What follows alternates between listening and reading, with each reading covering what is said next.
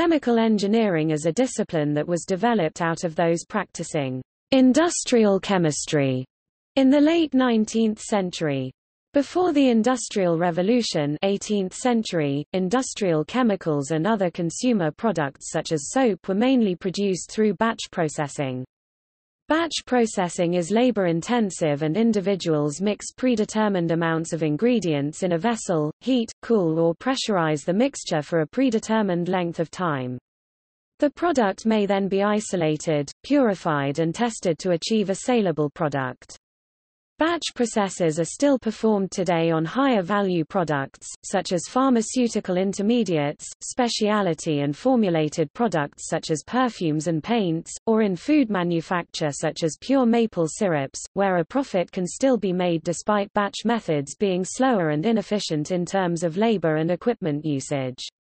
Due to the application of chemical engineering techniques during manufacturing process development, larger volume chemicals are now produced through a continuous assembly line chemical processes. The Industrial Revolution was when a shift from batch to more continuous processing began to occur. Today commodity chemicals and petrochemicals are predominantly made using continuous manufacturing processes whereas specialty chemicals, fine chemicals and pharmaceuticals are made using batch processes.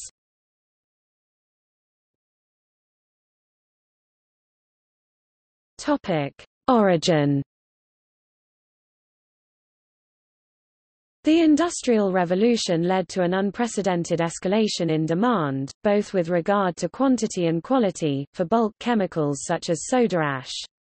This meant two things, one, the size of the activity and the efficiency of operation had to be enlarged, and two, serious alternatives to batch processing, such as continuous operation, had to be examined.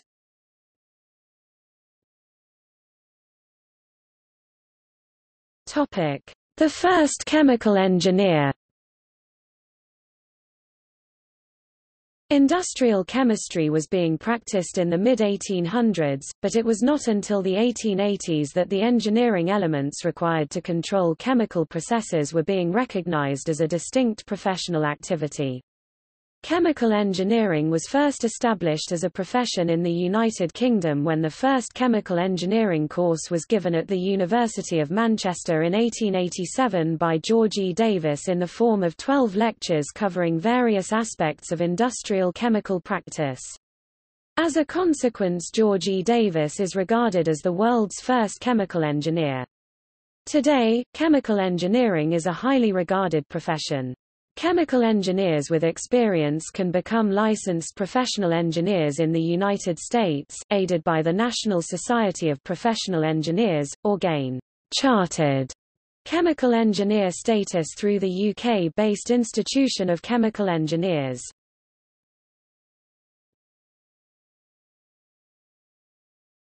Topic: Professional associations. In 1880, the first attempt was made to form a Society of Chemical Engineers in London. This eventually resulted in the formation of the Society of Chemical Industry in 1881.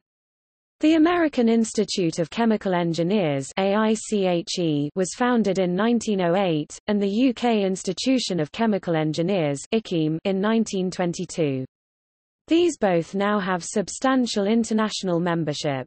Some other countries now have chemical engineering societies or sections within chemical or engineering societies, but the AICHE, ICHEM and IICHE remain the major ones in numbers and international spread. They are both open to suitably qualified professionals or students of chemical engineering anywhere in the world.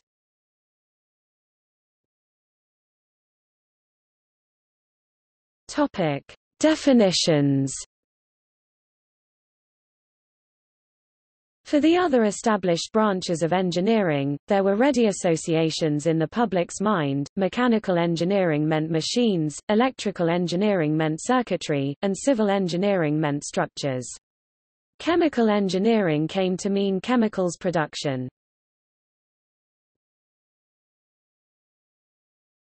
Topic. Unit operation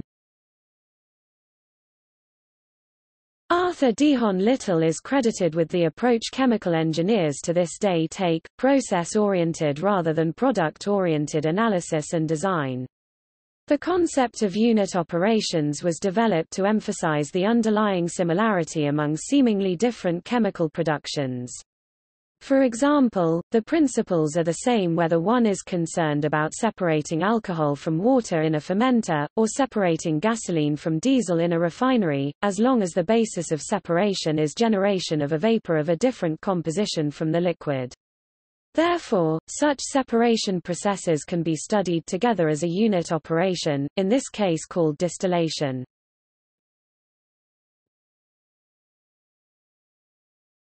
Topic: Unit processes In the early part of the last century, a parallel concept called unit processes was used to classify reactive processes. Thus oxidations, reductions, alkylations, etc. formed separate unit processes and were studied as such. This was natural considering the close affinity of chemical engineering to industrial chemistry at its inception. Gradually however, the subject of chemical reaction engineering has largely replaced the unit process concept. This subject looks at the entire body of chemical reactions as having a personality of its own, independent of the particular chemical species or chemical bonds involved. The latter does contribute to this personality in no small measure, but to design and operate chemical reactors, a knowledge of characteristics such as rate behavior, thermodynamics, single or multiphase nature, etc. are more important. The emergence of chemical reaction engineering as a discipline signaled the severance of the umbilical cord connecting chemical engineering to industrial chemistry and cemented the unique character of the discipline.